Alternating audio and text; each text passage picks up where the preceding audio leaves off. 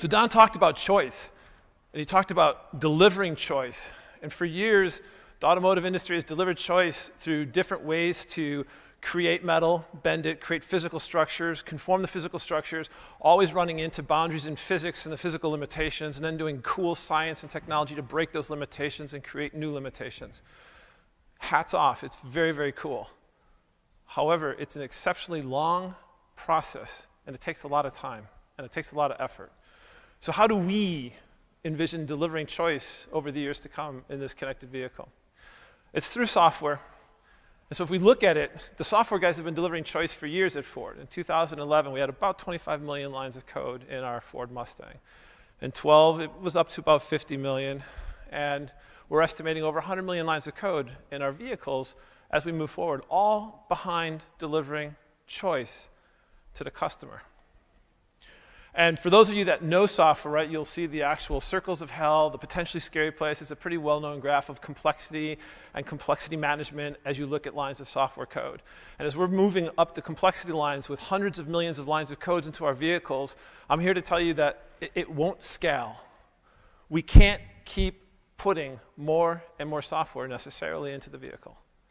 We will, but that can't be the only way to do it. So, how do we solve this complexity problem? How do we solve the choice problem for our customers? How do we solve the problems for choice when the customers that we're selling today were born with handsets buried in their hands? When all they've known from the day that they were created was this world of digital connectivity and personalized choice. How do we do it? So, Don talked about that. The first part of it is smart device link. It is the ability to actually encapsulate the car and to expose it in well known ways to third party software developers, to allow them, to allow you to integrate those things that our customers, your customers, demand. But it's not just Smart Device Link, it's developers. It's developers who are doing the cloud. It's developers who are working embedded. It's developers who are designers. It's developers who sit there saying, hey, what if? It is people who are crazy ideas from past times saying, holy cow, this is a computer on wheels. It's the guys who are security conscious who are saying, hey, have you thought about it this way? It's the guys who are saying open and freedom is important. How do we achieve that? The car represents one of the most fundamental open aspects of freedom, as was talked about in the early 20s when Henry Ford said opening the road to mankind. How do we deliver it? It is the kinds of guys who inspire you and say, holy cow, those people look at the world differently. How do we tap into them? And last but not least, it's the kinds of people who today are building very exceptionally cool stuff and who have now taken notice that there's something happening in automotive and they want to be a part of it. Smart Device Link is OS agnostic. We've been talking about, you'll hear about it later today. It is OS agnostic, but I bring out Linus Torvalds as the creator of Linux for the simple fact that, as a marker of acceptance, the kernel team, kernel.org, is now taking notice of what's happening at the Smart Device Link project and are now looking to understand what they can do at the kernel level to enable better and seamless transitions. Yes, that's Linux. We don't all work in Linux. Some of us work in QNX, some of us work in Greenhill, some of us work in Microsoft. So, but it's a marker. The industry is taking notice and saying, how can we help? So, what can we do? What are the cool things that we can do? What are you going to see and learn about today that should excite you? We've been talking about vehicle data. Here's just a small subset of stuff that you're going to hear about today. And I'm calling out my keys very Ford specific because I'm conscious of the fact that there are those of you in the audience today that don't just work with Ford. And we're cool with that. We acknowledge and understand that in order for this to be successful, your apps need to work as well in Ford as they do elsewhere. We know that. We understand that. We're getting better at understanding it, and we're getting better at understanding what we as Ford need to do to make that happen. So, to Don's point, having conversations with our counterparts in the OEMs in Detroit and other parts of the world, making sure that we reach out and behave correctly in the aftermarket. But this is a sample of data that pretty much all the OEMs have, one form, fashion, or another. So imagine if you took that vehicle data and you added external data feeds, feeds that are possible because they exist already but are looking for a place for a home for developers to come look at. So take the IFTTT Imagine you couple it with weather data and live traffic data.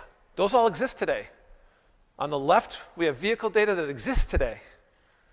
We have services that exist today. If you guys could couple them together using smart devices to pull that data off vehicles, here are some things that you could do. Watch this. If my kid drives within one mile of a home, school, or work, some geofence that the car doesn't even need to know about it because the phone and the offboards have known about it, then hey, I can send a phone, an SMS message out to the parent. Hey, your kid's been, you know, his kid's made it to school. If my key, so this is a Ford specific feature, this is the idea of personalizing your car. Other OEMs have something similar. So the concept though is that I know no one, someone who's personalized is traveling. So I know my kids are using the car. So if I see the car being five miles over, or if I understand that maybe there's a belt alert, i.e., if I understand behavior of my child, I can then turn around and set a reminder to talk to them about their driving behavior. I can close the loop on how they drive. If I find out that fuel con may be above or below, the way you're driving, how fast you drive, how slow you drive, I might then be able to post on your social graph and bring a full picture to sustainability. I can use the vehicle and its data to create a better world a better driver.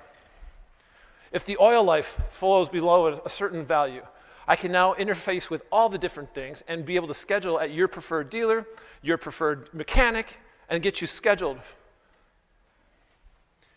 If the temperature outside is different based on preconceived settings, I can condition the car. If there's traffic conditions, so if I use Waze, who here uses Waze? A lot of you use Waze, right? How many of us are always checking it? Well, how cool would it be to be you know, told before we're leaving, right? You need to be taking alternative routes, right? How cool would that be? Or better yet, take the routes and they get rebought them back into the car. So the point of this is that all this exists today. And what you're going to find out from now, from 11 o'clock on, is how to do it. It's how to build it. So the rest of today is about teaching you about our SDKs, teaching you about the head unit, teaching you about how to build the core, showing you how the project works in open, uh, there's going to be cool uh, conversations with some of the partners and some of the uh, business development folks that we have. And speaking of business development, I do need to give courtesy to Scott Brunell, you met earlier today. We were out visiting one day and he wrote this up.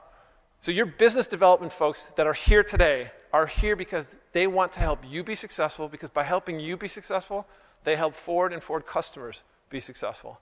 And by extension, they help the automotive industry be successful. So we're excited about what's going to happen today. We're excited that you came, and we're exceptionally excited about being involved. As Don called out, it's important for the automotive industry to have a hand in this exercise. Now, how does it work? How does this actually work? So Don talked about public commitment to building in public. How does that actually work? So some of you have heard me speak before. I'm always about the big circle of life. So let's, let's talk about this circle of life. So the OEM still has their business model. They still contract with their favorite and preferred tier one to build them, to help them integrate a head unit. And they stipulate for that head unit that they want SDL.